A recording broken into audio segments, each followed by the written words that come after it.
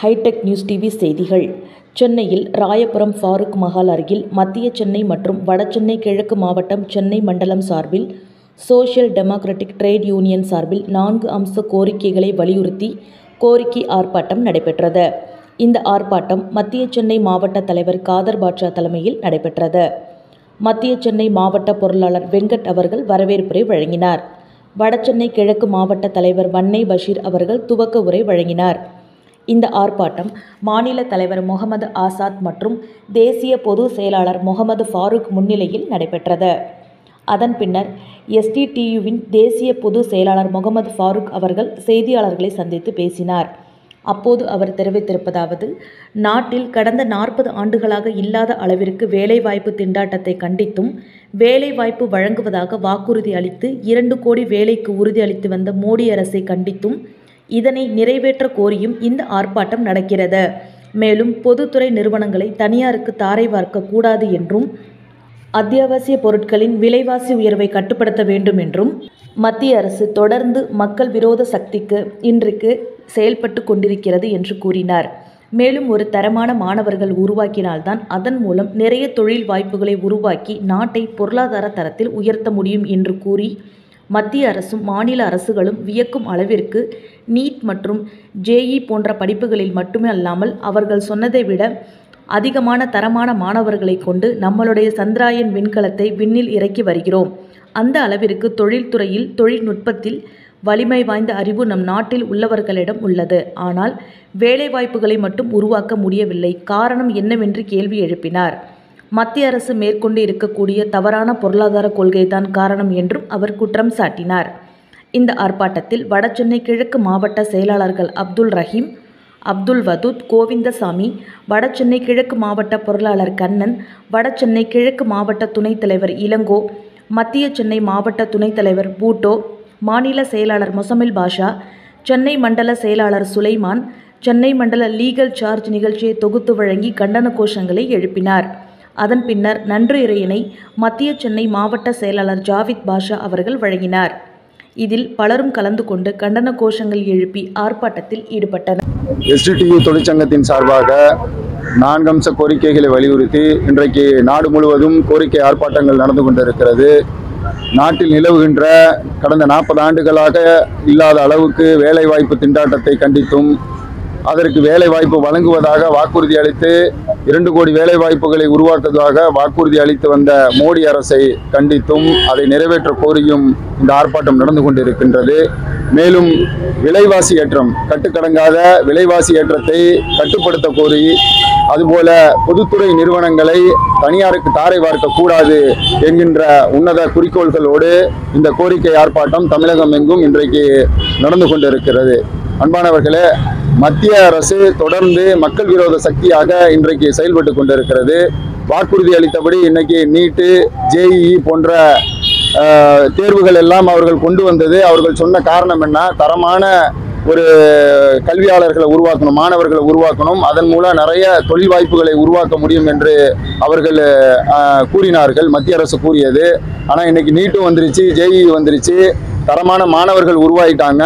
அவங்க சொன்னதை விட மே மேலதிகமான தரமான மாணவர்கள் இன்றைக்கு உருவாகி இருக்கிறார்கள் மிக சிறந்த தொழில்நுட்ப வல்லுநர்கள் உருவாகி இருக்கிறார்கள் இன்னைக்கு நிலவிலேயே கொண்டு போய் நம்மளுடைய சந்திராயன் அந்த விண்கலத்தை இறக்கி இருக்கிறோம் அவ்வளோ தொழில் தொழில் தொழில்துறையில் தொழில்நுட்பத்தில் ரொம்ப வலிமை வாய்ந்த அறிவு சார்ந்த மாணவர்கள் இன்றைக்கு நம்ம தமிழ்நாட்டிலையும் சரி இந்தியாவிலையும் உருவாகி இருக்கிறார்கள் ஆனால் வேலை வாய்ப்புகளை மட்டும் உருவாக்க முடியல. காரணம் என்னன்னா இந்திய அரசு மத்திய அரசு மோடி அரசு மேற்கொண்டு இருக்கக்கூடிய தவறான பொருளாதார கொள்கை. பொதுத்துறை நிறுவனங்கள்லாம் தனியாருக்கு தாரை வார்த்துட்டா எப்படி வந்து இவங்களால வேலை வாய்ப்பை உருவாக்க முடியும்? வேலை வாய்ப்பை உருவாக்க முடியாது. அது மட்டும் இல்லாம இன்றைக்கு உலக சந்தையில ஒவ்வொரு பொருளும் உற்பத்தி திறன் வேணும் முதல்ல இந்தியாவுக்கு.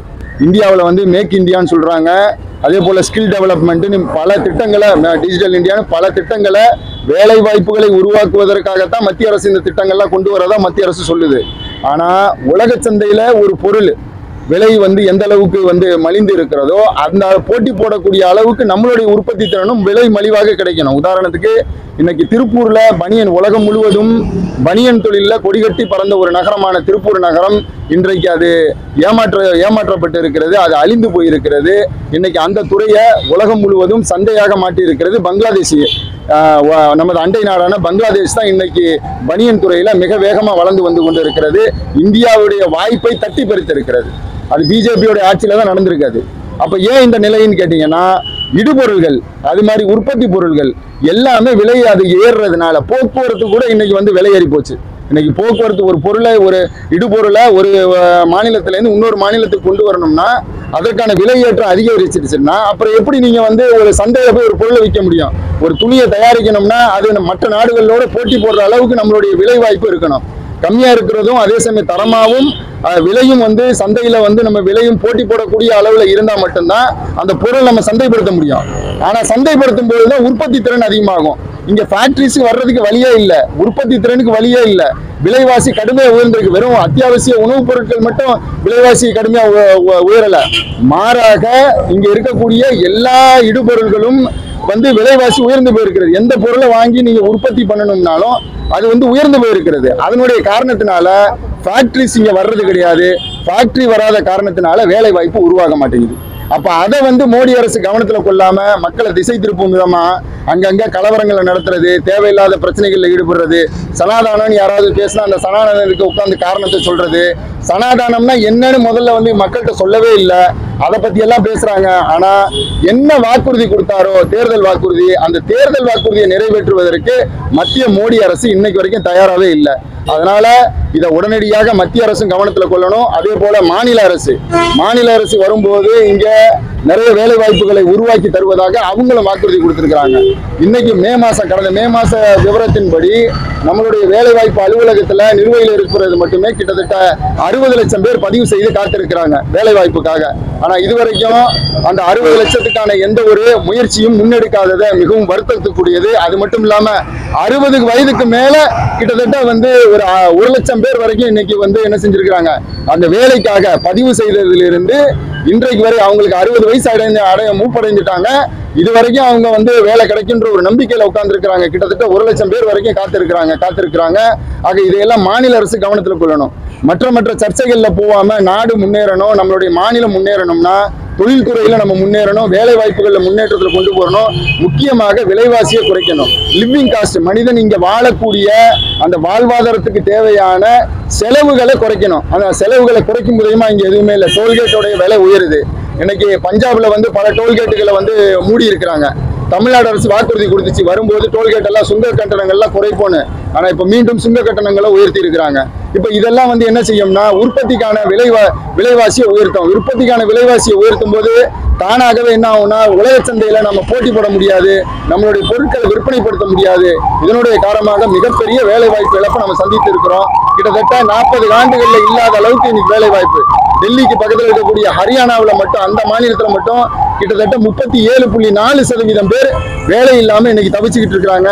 உலகளாவிய அளவில் வேலையின்மை நாடுகளில் பத்து நாடுகள் டாப் பத்து நாடுகள் க- கணக்கெடுத்திருக்கிறாங்க. அந்த பட்டியலில் இந்தியா ஆறாவது இடத்துல இருக்கு. இப்போ இதெல்லாம் சரி பண்ணணும்னா ஒரு நல்ல ஒரு நோக்கத்தோட ஒரு முன்னேற்றத்தோட இவர்களுடைய சிந்தனை வந்து சரியா நாட்டு மக்களை முன்னேற்றம் வேணும் அப்படிங்கிற ஒரு நோக்கத்தோட திட்டமிட்டா மட்டும்தான் இந்த பிரச்சனைகளுக்கான தீர்வு கிடைக்கும் என்பதை நான் கேட்டுக்கொண்டு எஸ்டிடியு தொழிற்சங்கத்தினுடைய கோரிக்கையை மத்திய அரசும் மாநில அரசும் விரைவாக நிறைவேற்றி தர வேண்டும் என்று கேட்டுக்கொள்கின்றேன். முகமது ஃபாரூக் தேசிய பொதுச் செயலாளர் எஸ்டிடியு தொழிற்சங்கம்.